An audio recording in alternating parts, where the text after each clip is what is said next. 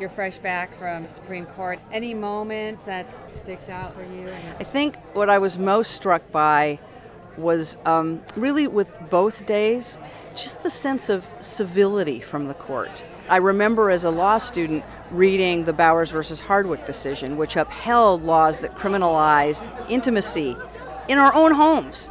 And that claim that that should be unconstitutional was called facetious. So to see this court, all nine members, even Justice Scalia, who we know has said some very damning things about LGBT people, even he um, held his tongue. And some justices, like Justice Alito, talked about loving committed same sex couples. So I was struck by the tone of respect and of common humanity, and that in and of itself is a huge victory.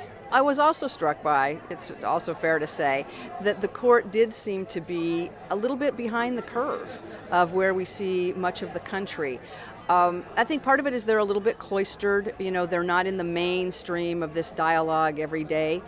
But I also think that some of their attitudes reflect the place that many Americans still are in parts of the nation. However, I do think that what we're going to see in June and maybe earlier is the end of Prop 8 and I also think we'll see DOMA struck down. And both of those victories will be catalytic. Even if we were to lose them, we all know how this story is going to end. We all know that eventually we're going to win full, formal, legal equality on every issue where we suffer now government discrimination or where we're treated as outsiders. And isn't it interesting? We're seeing it in real time now when people make some sort of homophobic remark that we're so used to have been, to have been hearing, but now everyone else is hearing this going, you didn't just say that, did you? It's so great to see every civil rights movement has to have the moment where allies take up the cause. So it's not just us saying, WTF, why did you say that? You can't say that. Now, before we can even get to social media, we've got straight allies, football players who are saying, uh, you can't talk that way. That is not okay. You know, that's how we know we're winning. It must have been a thrill when the president said to you, um, "We've got work to do," because uh, you've been leading this charge, and then to have like somebody at the top like saying, "You know, I not only got your back, but I'm going to, you know, get in front of this too."